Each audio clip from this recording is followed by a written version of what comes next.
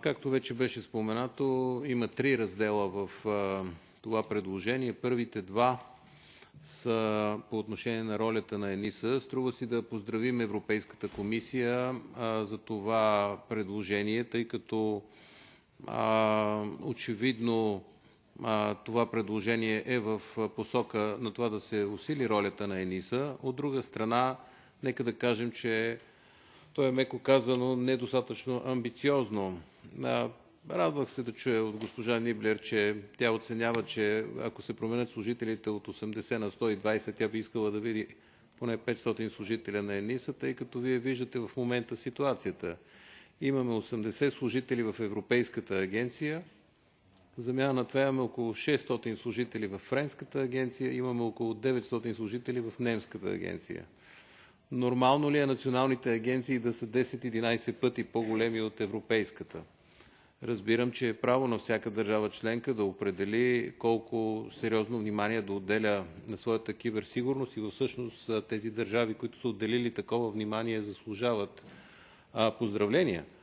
Но въпросът е не е ли редно ние да може да организираме по същия начин и със същото сериозност и внимание киберсигурността и на Европейския съюз като цяло тъй като въпросът, който седи в момента е тогава, когато имаме атака срещу а, повече държави членки, кой организира отговора от страна на Европейския съюз на европейско ниво.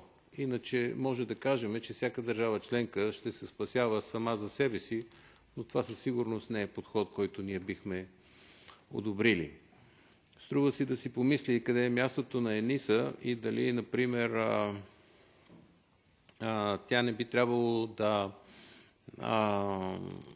освен да рапортува на, е, на колежа на комисарите, разбира се, да рапортува и, на, и да дава своя доклад на Европейския парламент, а защо не и лично на президента на Европейската комисия. Имаме такива примери в държави като Франция, като Израел, като Сингапур, където тези агенции са директно в подчинение на кабинетите на министър-председателя или на президента, а не на отделни министри.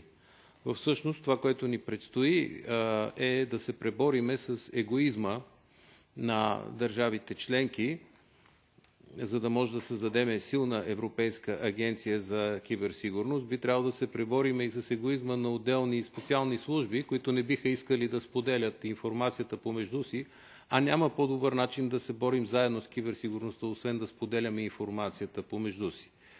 По отношение на сертифицирането, очевидно по-скоро подхода ще отиде към това да работиме за доброволно сертифициране.